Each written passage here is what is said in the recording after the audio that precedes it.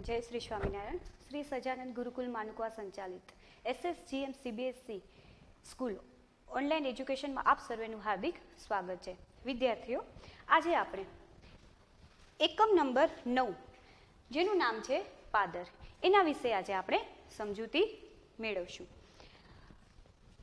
આ એક નિબંધ નિબંધ છે જે આપણે ગ્રામ ચેતનાને ઉજાગર કરે છે. પાદર વિશેના પોતાના સંસ્મરણો લેખકે કાવ્યમય, અહીં સચોટ રીતે પ્રસ્તુત કરેલું છે. વિદ્યાર્થીઓ, આ પાઠમાં ઘણા એવા તળપદા શબ્દોનો ઉપયોગ પણ થયેલો છે. જે આજકાલ જે ગામડાના લોકો છે એ વધારે પડતો આ શબ્દનો ઉપયોગ કરે છે. જોઈએ હવે આ એકમની સમજૂતી. અમે પાદરમાં રમીએ. પાદર. આપણે સાથે સાથે શબ્દ સમજૂતી પણ મેળવીશું. પાદર એટલે કે ગામની ભાગોળ. શબ્દાર્થ.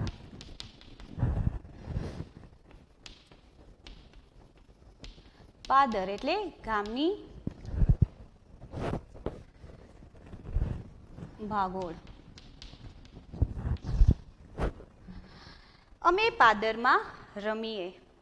પાદર શબ્દ સાંભળતાની સાથે જ અમને આનંદ થાય. અમારા પગ નાચવા માંડે છે. જાણે પાદરની રેત અમને બોલાવતી હોય એવું લાગે છે. અમે પાદરને ગોદરું એવા નામ, નામે ઓળખીએ છીએ. ગોદરું ગોદરું એટલે કે ગામના ઢોર ઊભા રહે તે ભાગોળ પાસેની થોડીક એવી જગ્યા.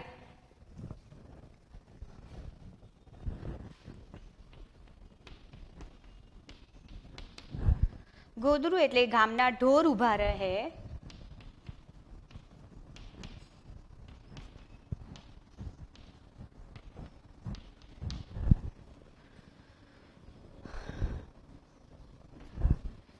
તે ભાગોળ પાસેની જગા.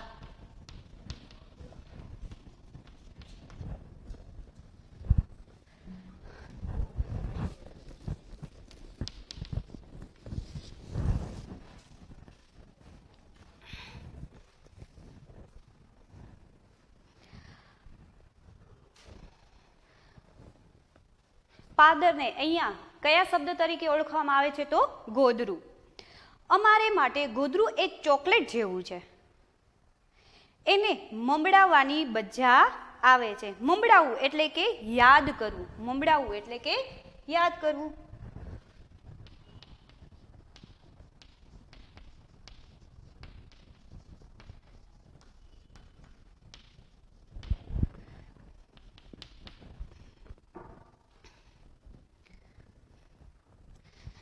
લેખકને, ગોદરું છે એ કેવું લાગે છે તો? ચોકલેટ જેવું લાગે છે કે જેને આપણે યાદ કરવાથી ખૂબ જ આનંદ થાય છે. એવું ચોકલેટ જેવું એને ગોદરું લાગે છે. મારા ગામના ગોદરે બે વિશાળ વડ જે દર વર્ષે પોતાની વડવાઈઓ વધારતા જાય છે. સામેના ભાગે ઉભેલી પીપરો અને પીપળા આ એક વૃક્ષનું નામ છે. બીજી બાજુ લીમડા. એક બાજુ શું છે? તો પીપરો અને પીપળાના વૃક્ષો છે તેમજ સામેની બાજુ લીમડાના ઝાડ છે. આ બધું જ એમના પાદરનું વર્ણન કરી રહ્યા છે. વચ્ચેના ભાગમાં ઝીણી ઝીણી વેડું એ અમારું પાદર. અહીંયા વેડું વેડું એટલે કે રેત. વેડું શબ્દનો અર્થ થશે રેત.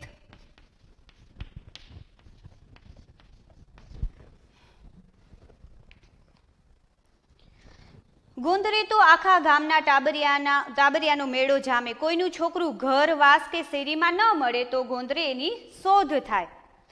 છોકરું ક્યાંક વડની વડવાઈઓ કે ઝાડની બખોલમાં લપાયેલું હોય તે મળી જાય. છોકરાને શોધવામાં જો એની માને તકલીફ પડે તો એનું આવી જ બને. મારા પિત્યા લડધા તારો, ફૂટું હોસલો તારો, અડધા દાડાથી તન આખા ગામમાં હોધું શું? એવું બોલતા બે ચાર લાફા મારી દે. બીજા છોકરા ઝાડ, ઝાડના ઓઠે લપાઈને જોઈ રહે. ઓઠે એટલે કે પાછળના ભાગે.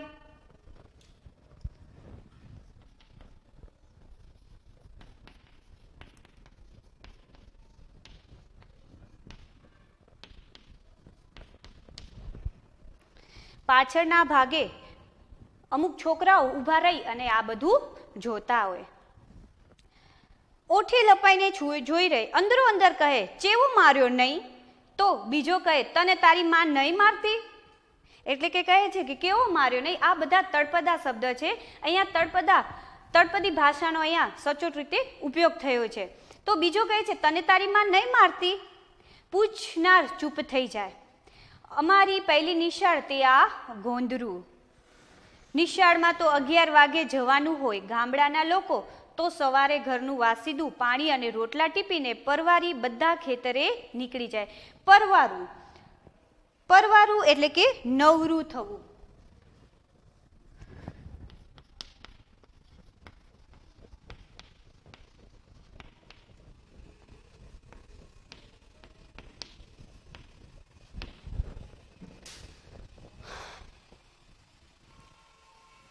અમે ભણેશરીઓ નેવાના છાંયડો નજીક આવે ત્યાં સુધી તો ફાટેલી થેલીઓમાંથી ફાટેલી ચોપડીઓ નોટોના પાના આઘા પાછા કરી તૂટેલી સ્લેટના કકડા મિલાવતા કંઈક લખીએ, ન લખીએ અને ગોંદરે જવા નીકળી પડીએ. સવારે નવ વાગ્યાથી અમારી નિશાળ શરૂ થાય. એમાંય કોઈ સાહેબને જતા આવતા જોઈએ ત્યારે યુદ્ધભૂમિના સૈનિકોની જેમ વડની વડવાઈઓ કે ખોદેલા ખાડાઓમાં લપાઈ જઈએ. સાહેબ જો જોઈ જાય તો આવી જ બને. અમને એ વખતે સાહેબોની ધાક જબરી હતી હો. ધાક ધાક એટલે કે બીક.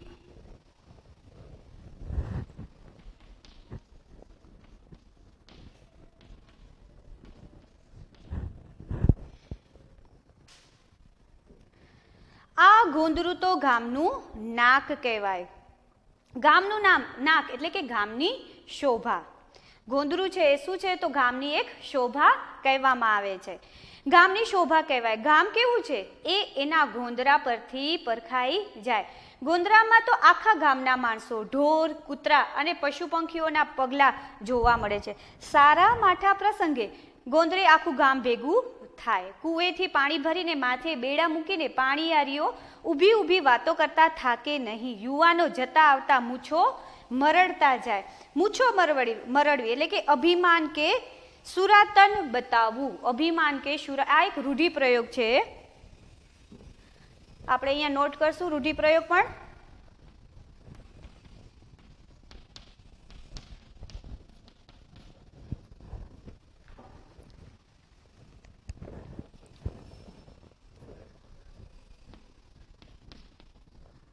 મૂછો મરડવી.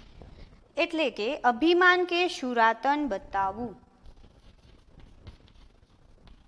અભિમાન કે શુરાતન બતાવવું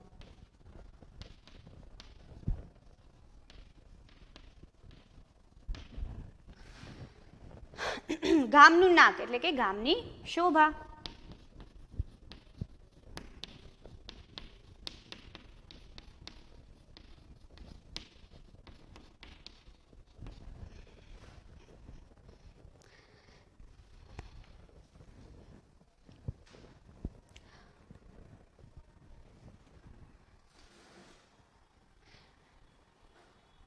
ગામનો મેળો પણ ગોંદરે ભરાય. બહાર ગામ કે ક્યાંય પણ જવાનું હોય વાયા ગોંદરેથી. ગોંદરું તો ગામનો જીવતો જાગતો ચોપડો. એમાં નામ લખાવ્યા વિના કોઈ આવી કે જઈ ન શકે. કોઈનું મરણ થવું હોય તો મરનારા, મરનારનો ત્રીજો વિસામો ગોંદરે થાય. ગોંદરે જ મળદાના પગના અંગૂઠાને આગ મુકાય. પછી જ આવે છેલ્લો વિસામો સ્મશાન. આનર્ત ગુજરાત એટલે ભવાઈનો એક પ્રદેશ. ભવાઈ ભવાઈ એટલે કે લોકનાટ્ય, નાટકનું ગ્રામ્ય સ્વરૂપ. ભવાઈ એટલે કે લોકનાટ્ય. એક લોકનાટ્યનો એક પ્રકાર છે ભવાઈ. નાટ્યનો પ્રકાર.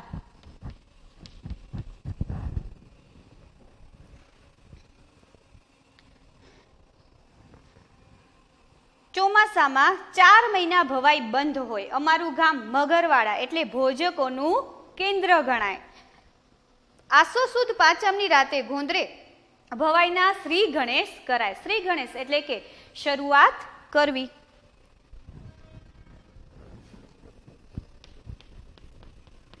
શ્રી ગણેશ કરવું એટલે કે શરૂઆત કરવી.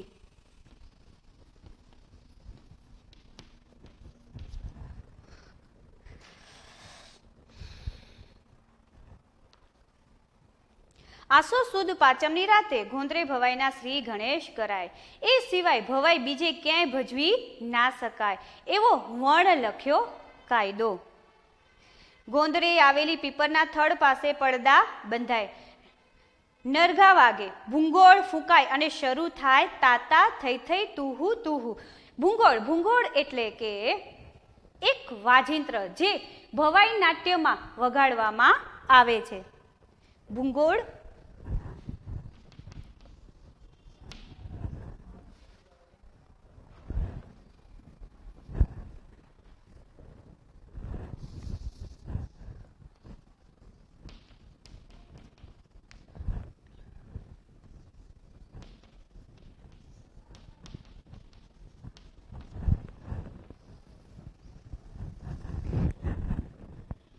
એક વાજિંત્ર.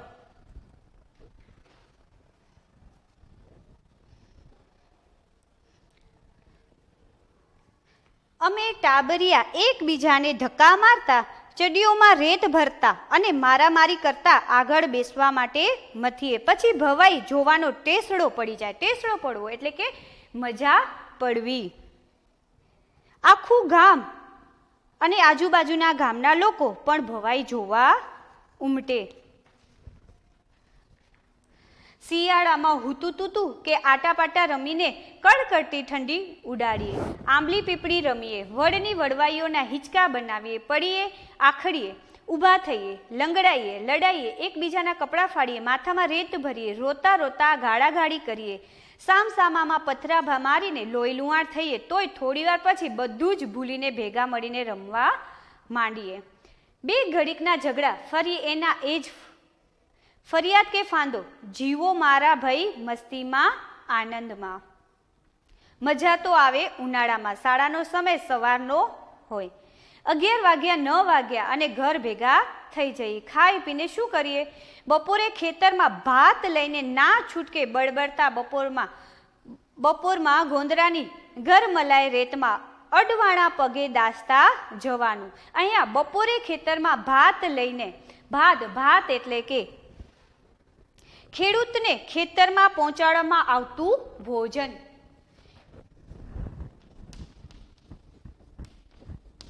ખેડૂતને ખેતરમાં પહોંચાડવામાં આવતું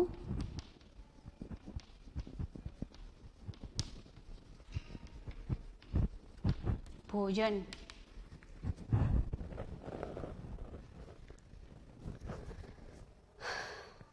ઘર મલાય રેતમાં અડવાણા પગે અડવાણા પગે એટલે કે ઉઘાડા પગે, ખુલ્લા પગે.